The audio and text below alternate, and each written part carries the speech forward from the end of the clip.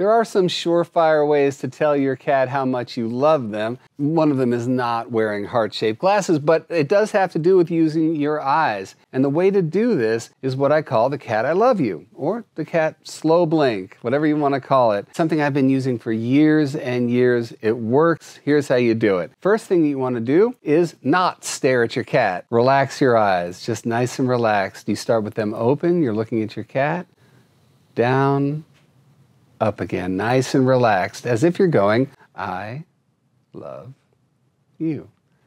Sometimes your cat will stare at you, try it again, and you'll see. Your cat will do it back to you. And now we're having the language of love, and you are officially your cat's Valentine.